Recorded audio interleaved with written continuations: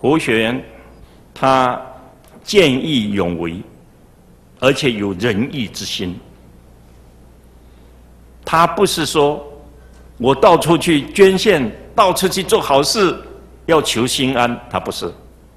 我希望各位把这两个分开来看，啊，一个是有所求，说菩萨，我今天奉献给你，你一定要保佑我。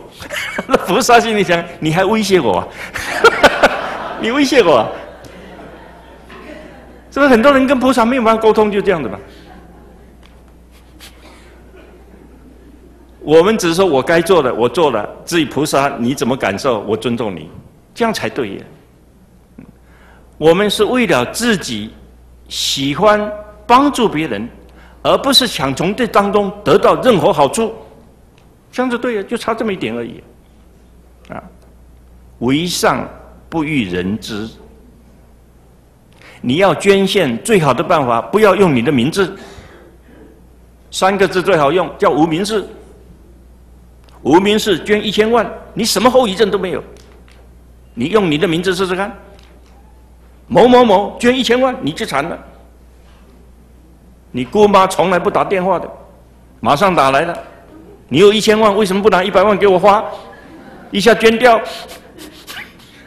你当时发现你的亲戚还很多，平常都不知道的，你不自己找麻烦了？无名氏表示我的动机很纯正，我没有沽名钓誉，也没有想从中得到什么好处。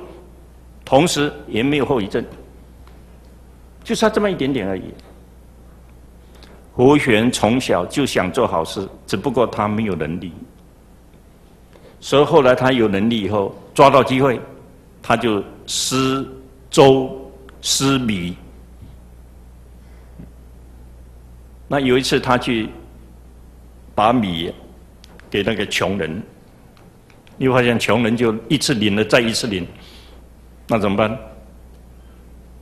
他底下办事人就很简单了，你来领米是把你一边眉毛剃掉，就表示你领过了，下次来两边都剃掉，你领两次，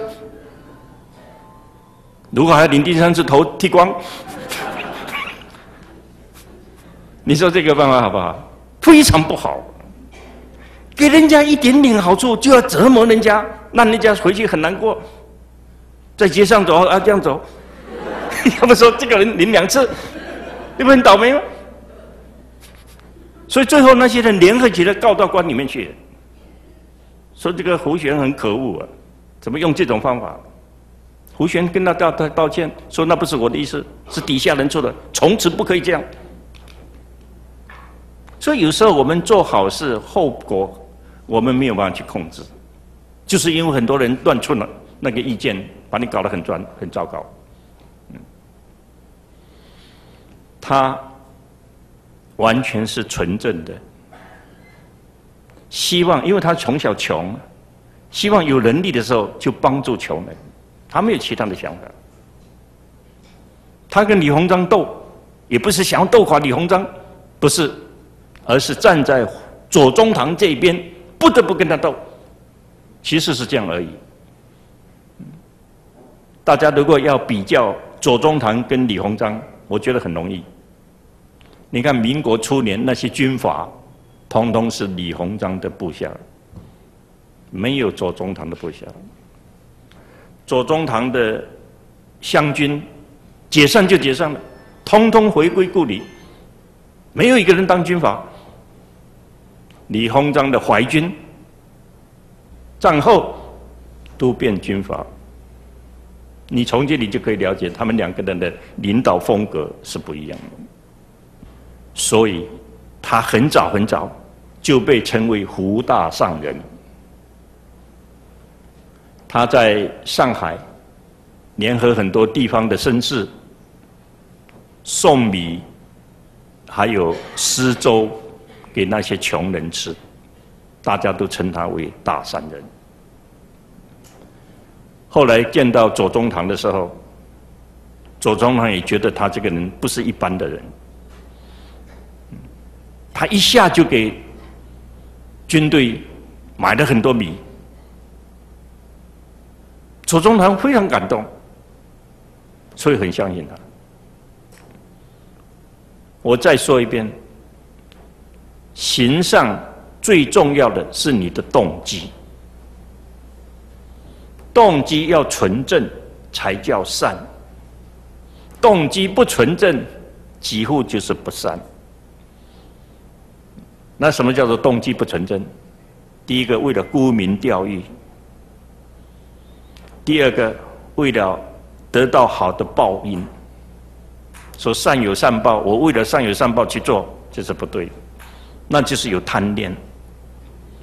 你会把这个善事到处去招摇、去传播，说我在哪里做了什么好事情，这都是动机不纯正。胡旋没有，胡旋在钱塘间办了义渡，他是怎么办的？我把这段说给各位做参考。他有一天坐渡船，那时候坐渡船是要钱的。坐渡船的时候，因为他的衣服太破烂了，所有钱掉光了，不晓得掉到什么地方去。然后下船的时候拿不出钱来买票，船夫要他把衣服脱光，还侮辱他，没有钱要白搭这个渡船。当时他实在非常难过，所以他就决心，等他有钱的时候，要办那个免费的渡轮，使大家来回很自由。可是他这样做，也得罪了其他的同行。各位有没有发现，一条江本来就这个人是渡口，他生意很好，你现在又弄个渡口，他生意就变不好了。所以人不见得说做好事，大家都会赞美你，不见得，因为每个人既得利益不一样，每个人立场不一样，观感不一样，他的反应也不同。